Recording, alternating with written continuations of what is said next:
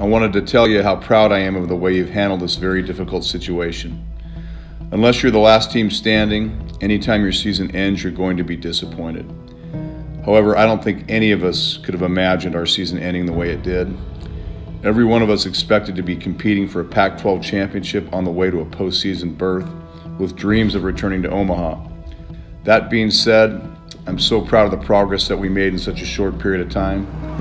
We as a staff were determined to challenge you by taking a roster with only two returning starters, a completely new rotation, a new closer, and two new coaches on the road against two veteran postseason teams for our first seven games, and you answered that challenge. Our goal was to get our legs underneath us and be battle tested by the time Pac 12 play began, and I think we did that. We were ready to go when we got on the bus with expectations of winning our opening Pac 12 series at USC. Our rotation was set, we had found a closer, we had settled in on defense, and we were coming off a nine hit win at home. You had answered our challenge, you were ready for Pac 12 play. Instead, like everyone else in college baseball, we are left to wonder what might have been, and that's difficult.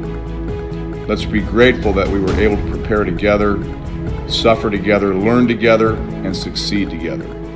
Let's remember what many I know have described as the furthest ball they've ever seen hit out of Blair Field by Christian Jones. Let's remember Braiden Ward making the steal stealing the second and third base look absolutely routine. Let's remember the rise of Noah Hsu and the way he fought back from the season-ending injury in 2019.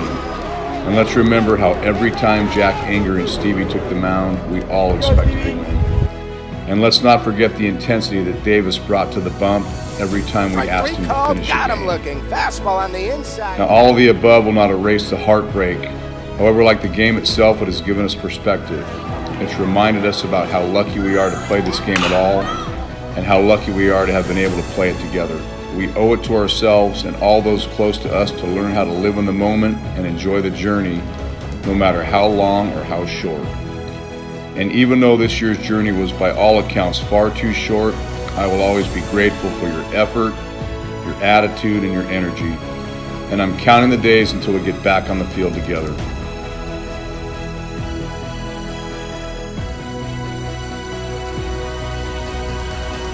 Go Dogs.